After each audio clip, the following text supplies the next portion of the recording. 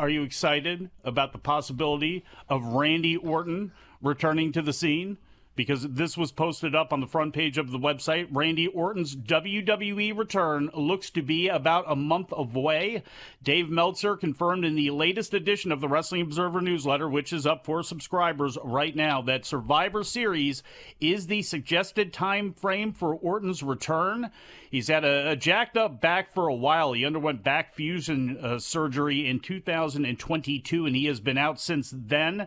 Uh, Cowboy Bob Orton, at one point in May, and uh, this past May, said that doctors have he believes that doctors told his son to just stop wrestling altogether but orton has been training for a comeback now for a while and hey survivor series if I'm sure there's a lot of people there who are blind to anything we're talking about here, and they may actually believe that CM Punk is going to be coming back. Roman Reigns is not going to be on that show. Is this really the perfect place for Randy Orton to come back?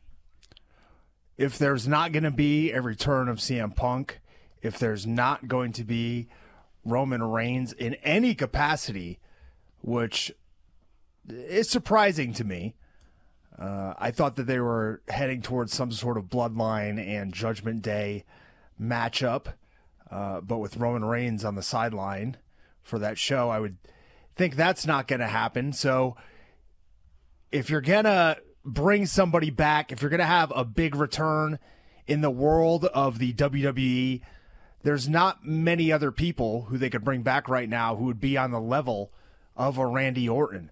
So if he's ready to go now, I think that's the perfect time. I think you save it till then. You have the big return, and people go home happy. Even without CM Punk, even without Roman Reigns, even without Filthy Tom Lawlor on that show. well, Randy Orton, 43 years old. It's certainly not old uh, by any means, but in athlete terms, he is getting up there a little bit. And with back fusion surgery and issues with his back, that kind of accelerates the aging process for most people. Obviously, there's a ton of money on the line here because they've got a ton of money. But then again, I would assume so does Randy Orton. Uh, do you see this being, you know, just throwing out all the speculation in the world. Do you see this being a relatively short term thing, maybe a year, 18 months? Or do you see this being, you know, a long term thing for him to really kind of rake in as much as he can before he finally kisses the whole thing off? I think what he should be doing is kind of making these big match appearances, uh, kind of like a schedule like an Edge or somebody that they had over the past few years. I don't think he needs to be on Raw working every week. And one thing that's happened in his time away is that his tag partner, Matt Riddle, is no longer employed by the company. So there's no storyline, there's no built in storyline for him to come back and be able to be on the apron and get the hot tag in the matches and kind of hide. I don't want to see his age, but the wear and tear on his body that he's accumulated so far. So you know, you could put him in one of those roles again. But like I said, the natural one that they had built up is no longer even a, even a possibility going back and having the RK Bro team. So, you know, maybe they find somebody else and kind of switch somebody into that Matt Riddle esque role that they had him in before, or you know, he maybe just cuts down on his schedule like he like I said, he doesn't need to be on Raw wrestling every week. He could be doing vignettes or just not even on the show if he doesn't have a worthwhile program coming up. The team with Riddle, from the time they put it together, everybody was waiting on Randy Orton to turn, and it seems to be that that's what they were going to do. But you had to ride the hot hand of how people were treating that team and cheering for Team RKO now that Matt Riddle's out of the mix, uh, you bring back Randy Orton, he's probably going to be a, a huge baby face. And at the Survivor Series, you know, who knows how, if he comes out, how you want to go ahead and debut him.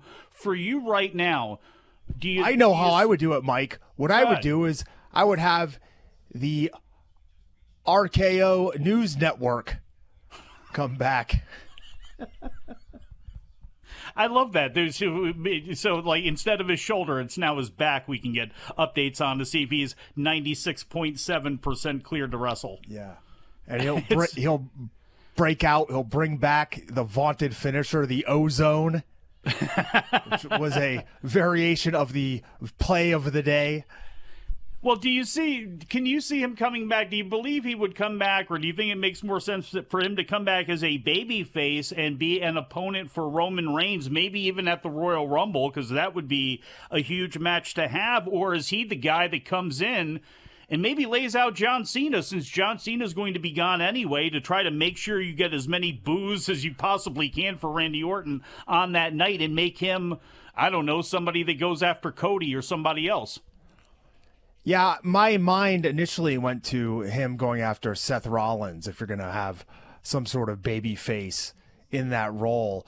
Either way, it's going to get a reaction. You know, if he comes back, obviously you would think putting him in the babyface role since he was attacked and beaten up uh, on the way out, I think, or written off a little bit. Uh, he's got the legendary status, so the fans are going to go crazy when he runs in or his music hits. But it's Randy Orton. And this guy has been a great heel throughout his career. He's done his best work as a heel. And much like you talked about Roman Reigns, him facing Roman Reigns, sure, that's a match you could do. Maybe you bring him back and you get it out of the way. But he could have a schedule like Roman Reigns. He could be doing essentially the same thing on Raw that Roman Reigns is doing on SmackDown. And I don't think anybody would think any less of Randy Orton and his place in the business at this point. He'd be a great guy to have for the Judgment Day, wouldn't he? It, that would that would be very interesting. I mean, that would be extremely interesting to, to buck up against that. Or look, if he comes back as a baby face, if Drew McIntyre's in with the Judgment Day, and we'll assume that Rock isn't coming back and they're going to be squaring up Cody Rhodes against Roman Reigns, I mean, Randy Orton and Drew McIntyre is a WrestleMania match. Randy Orton and, and, Finn Balor would be a WrestleMania match, or even Orton with somebody like you're suggesting. If he does take a partner on at some point, sort of like you know the team with RKO is just so he can have be able to stand outside the ring and let somebody else do some of the work. No matter how you kind of cut that scenario, it's a really good it's a really good one for a WrestleMania match. Yeah, now that we talk about it, I'm kind of intrigued by all of the different opportunities that you know Randy Orton has coming back. I guess you know, and absence, him as a salty absence, bastard, though. Yeah, I like, like I, the idea of him as a salty bastard, especially with guys like if Carmelo Hayes and guys like that are coming up. That old crusty person that would just RKO anybody, regardless if they're a babyface or a heel. Maybe that's the best way to go to him. He really is an island amongst himself. Yeah, I mean, he could just go the the old Jumbo Tsuruta route. You know what I mean? And just stiff all the younger guys. hey, I, am all for whatever Randy Orton's doing on his way back in. I hope he's back sooner than later. You have Max Caster on Wednesday was giving MGF unwelcome physical groping. Daddy Ass was calling himself Mr. Ass for decades now. And then you have the Iron Savages. All these men want to do, in their own words, is eat their opponent's asses. Anthony Bowens is the straightest guy in this match. Toni Storm also ate ass. What's going on here? Skye Blue has a very um, thick. Thank you. Uh, backside, of course, Toni's the same way.